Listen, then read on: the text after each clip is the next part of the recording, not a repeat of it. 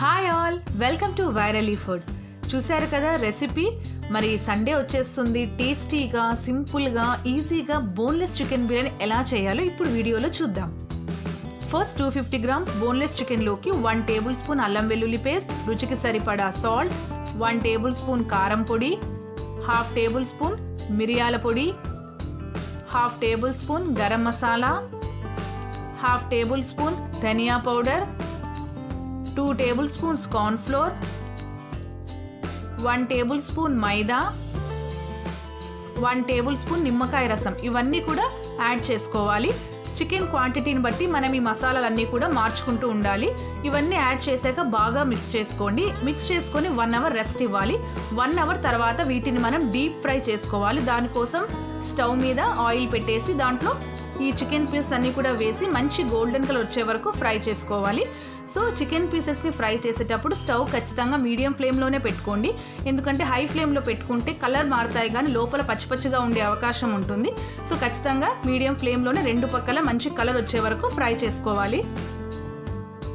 Fry అవుతుంటేనే నోరు ఊరుతుంది కదా? అసలు ఇలానే డైరెక్ట్గా తినాలనిపిస్తుంది కదా మనకి చికెన్. సో చికెన్ అంటే ఇష్టమైన వాళ్ళు ఎంతమంది ఉన్నారో నాతో కమెంట్ సెక్షన్లో ఖచ్చితంగా షేర్ చేసుకోండి.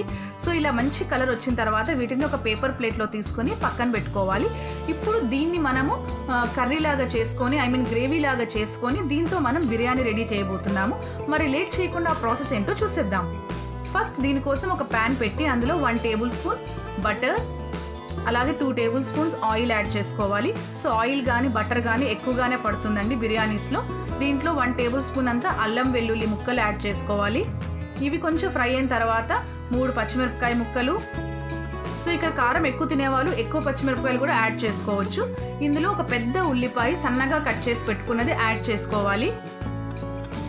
ఇవన్నీ కూడా బిర్యానీ క్వాంటిటీని బట్టి మనం మార్చుకుంటూ ఉండాలి. ఆనియన్స్ మంచి కలర్ వచ్చే వరకు ఫ్రై చేసుకున్నాక కొద్దిగా కరివేపాకు యాడ్ చేసుకోండి.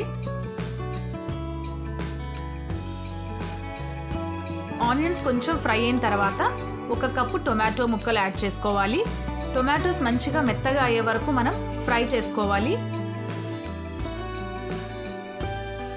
ఇప్పుడు ఇందులోకి వన్ టీ స్పూన్ మిరియాల పొడి one teaspoon garam masala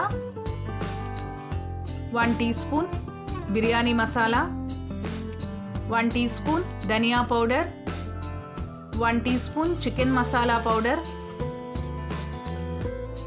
one tablespoon కారం రుచికి సరిపడా ఉప్పు ఇవన్నీ యాడ్ చేసుకొని బాగా మిక్స్ చేసుకోవాలి. ఉప్పు మనం ఆల్రెడీ చికెన్ పీసెస్లో వేసాము ఇక్కడ వేస్తున్నాము మరి మనం రైస్ కుక్ చేసేటప్పుడు కూడా వేస్తాము. సో జాగ్రత్తగా చూసి యాడ్ చేసుకోవాలి. ఇప్పుడు ఇందులో ఒక కప్ పెరుగు యాడ్ చేసుకొని బాగా మిక్స్ చేసుకోవాలి. పెరుగు యాడ్ చేసేటప్పుడు ఖచ్చితంగా స్టవ్ని లో ఫ్లేమ్లోకి పెట్టుకోవాలి. సిమ్లో పెట్టుకొని మనం పెరుగు యాడ్ చేయాలి. పెరుగు యాడ్ చేసాక బాగా మిక్స్ చేసుకోవాలి. ఇప్పుడు ఇందులోకి ఫుడ్ కలర్ ఆప్షనల్ అండి. కావాలనుకుంటే వేసుకోవచ్చు లేకపోయినా మనం చేసుకోవచ్చు. తర్వాత సన్నగా తరిగి పెట్టుకున్న కొత్తిమీర పుదీనా యాడ్ చేసుకోవాలి.